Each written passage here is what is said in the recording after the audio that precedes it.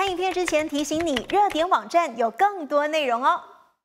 法国总理博尔内昨天下午在反对派议员的一片嘘声当中，动用宪法绕过国会投票，强行通过总统马克龙力推的退休改革法案。那这样的举动迅速引发了民众的怒火，抗议浪潮跟罢工宣言席卷整个法国。单单在巴黎就有至少两百一十七人被捕。由法国总统马克龙大力推动的这个退休改革制度，那昨天来到关键时刻。由于法国执政党因为没有把握让这个退休改革法案在国会通过，因此呢，在最终投票表决前的最后一刻，他们孤注一掷，进行了一场政治豪赌，动用宪法第四十九条第三款终止辩论。绕过投票，强制通过了将法定退休年龄从六十二岁延长到六十四岁的改革法案。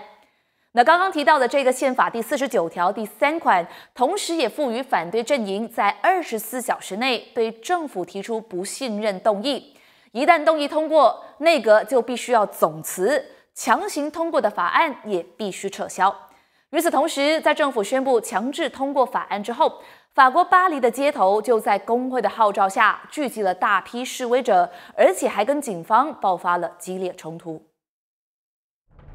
法国总统马克龙绕过国民议会表决，强硬直接通过了不受欢迎的退休金制度改革方案，激怒了许多法国人。数以千计的示威者走上街头抗议，甚至有人在街头焚烧杂物、捡起石头丢向警察，并企图冲破围栏。面对行为激进的示威者，法国防暴警察使用催泪弹和水炮来驱散人群，双方因此爆发了激烈冲突。期间有执法的警员受伤，以及至少八人被逮捕。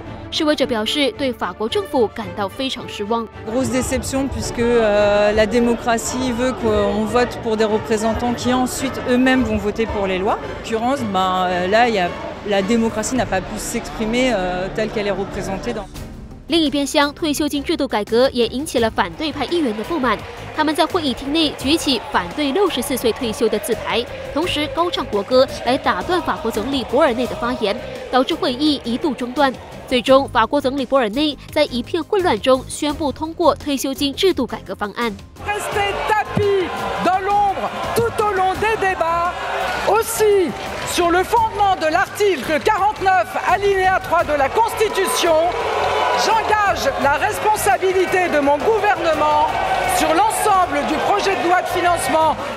根据法国宪法，一旦动用宪法第四十九条第三款，法案就被视为通过。